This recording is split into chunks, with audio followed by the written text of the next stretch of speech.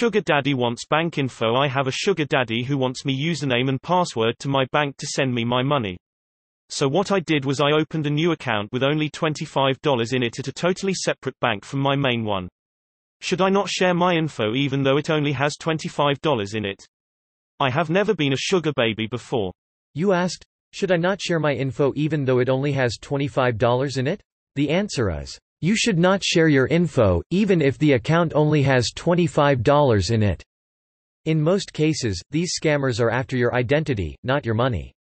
They don't literally want to steal your identity in the traditional sense, rather they want the ability to make transactions while impersonating you. Basically, this person has dirty illegally obtained money in another account. They want access to your account so they can launder the money, move it through your account and onward to another account or format that will be hard to trace. Typically, the way this plays out is that there will be a transfer of money into your account, and then a purchase of gift cards, or a Western Union transfer out of the account both of which are basically untraceable.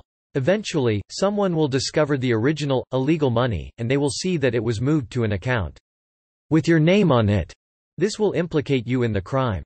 Meanwhile, the scammer is laughing all the way to the bank, they now have their stolen money, and no one can trace it to them, since it was moved through your account. Once the crime has been discovered, the original transaction that funded your account will be reversed, and you will be held liable for the entire amount since it's your name on the account.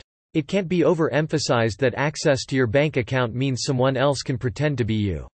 If they commit a crime laundering money while pretending to be you, it will be you that law enforcement comes after.